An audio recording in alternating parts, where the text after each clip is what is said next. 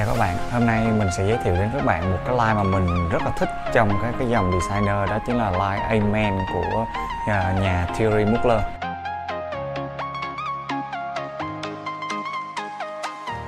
Ở đây mình có tổng cộng là 12 chai của line Amen thì nó đã có đủ à, cái line chai à, mà cái bản à, vỏ màu vàng hoặc là vỏ màu bạc thì mình à, cảm thấy nó không cần thiết lắm nên mình không có mua. Là một cái nhà designer được thành lập năm 1996 và cái line Amen là một trong những cái line mà bán chạy nhất hiện nay đã được đổi tên thành nhà Mugler thì các bạn chú ý trên cái vỏ hộp của các cái chai mới thì chỉ ghi là Mugler chứ không phải Thierry Mugler còn các cái hộp chai bản cũ thì nó vẫn để nguyên là Thierry Mugler đó cũng là một cái dấu hiệu để các bạn nhận biết giữa chai bạn cũ và chai bạn mới.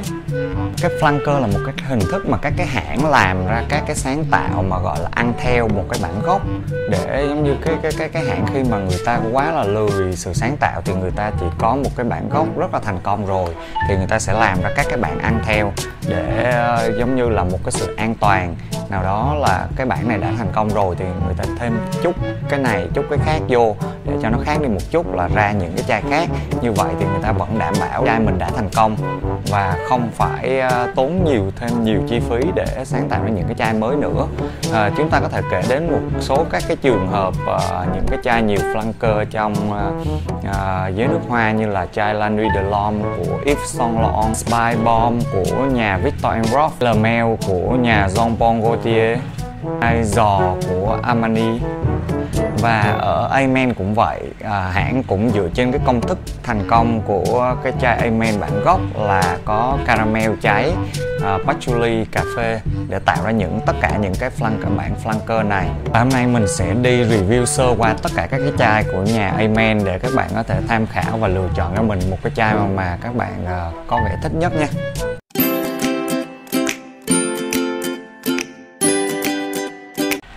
Đầu tiên là chai Amen bản gốc. Cảm giác rất là ngọt ngào của caramel và cà phê mà mình khó có thể lẫn vào các cái ờ, chai khác. Đến là chai Pure Mon Pure Mon nó có thêm cái nốt trái cây và rượu uh, whisky tạo nên một cái mùi hương à, khá là độc đáo và mình à, cũng rất là thích cái chai Pure Mon này. Đây là một trong à, là cái chai đầu tiên mà mình có của cái line Amen.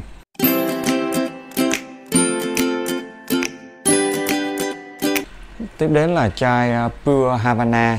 Thì đây là một cái chai rất là thú vị về cái nốt thuốc lá và mật ong thì à, cái chai Pure Havana này như mình đã có đề cập thì nó rất là giống cái chai à, Sejop Nasot. Chúng ta sẽ cảm nhận rõ cái nốt hương à, xì gà và mật ong trong cái chai Pure Havana này.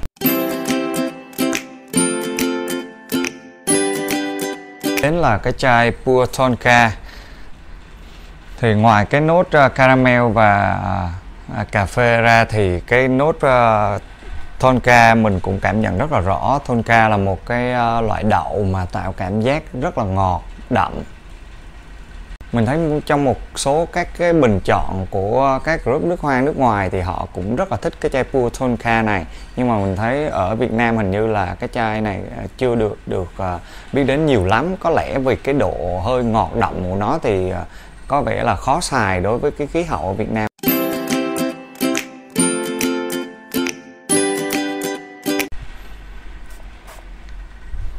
Chai tiếp theo là chai Pure Coffee. Thì cái chai này cũng ờ, hiện tại không còn sản xuất và khá là hiếm. Thì nốt cà phê chúng ta có thể cảm nhận lúc nó dry down thì khoảng ờ, 20 hoặc 30 phút sau.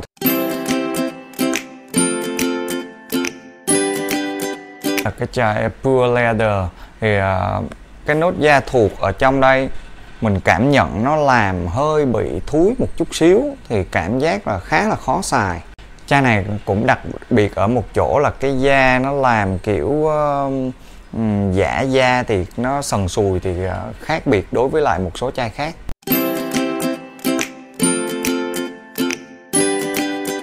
Pure Wood Wood là một cái ờ, cái chai mà có thêm ờ, một chút nốt gỗ thì cái nốt gỗ ở đây thì mình cảm nhận nó không có rõ ràng lắm, nhưng mà khi mà nó kết hợp với lại những cái nốt hương ờ, khác của cái dòng Amen thì mình cảm giác nó khá là là là khác biệt so với lại những cái chai Amen còn lại.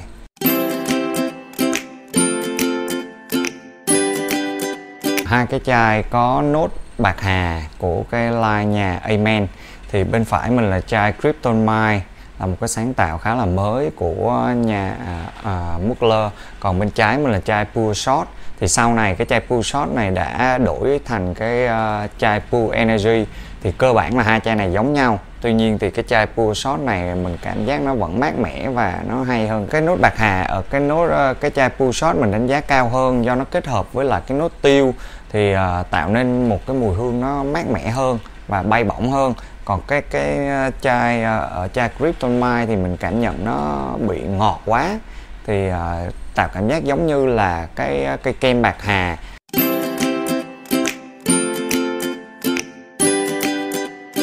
Cái chai được rỡ sắc màu nhất của nhà Amen là chai Ultra Z. Thì cái này có một cái màu cam rất là bắt mắt cái chai Ultra Z thì à, nó có thêm cái nốt cam nên là mình cảm nhận nó có hơi chua một chút cùng với lại cái vị ngọt. Một cái chai khá là thú vị có thể sử dụng à, để đi làm hàng ngày.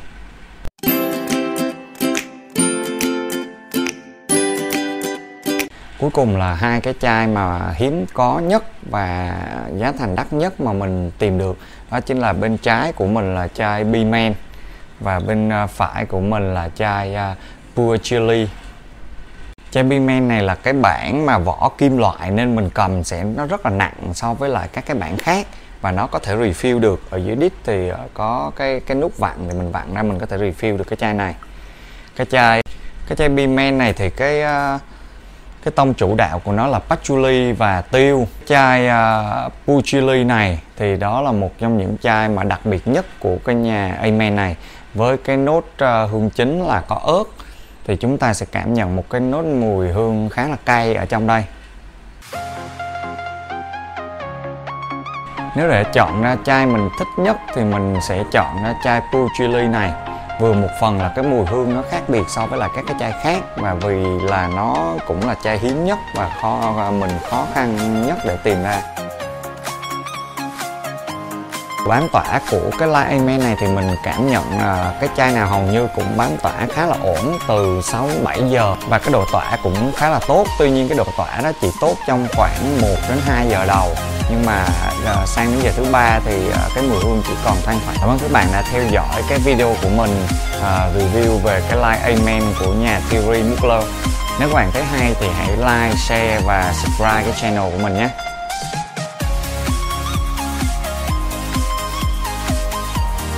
Các bạn đã thử được cái chai nào hoặc là sở hữu cái chai nào của nhà Amen và thấy thích thì hãy comment để cùng thảo luận với mình nha.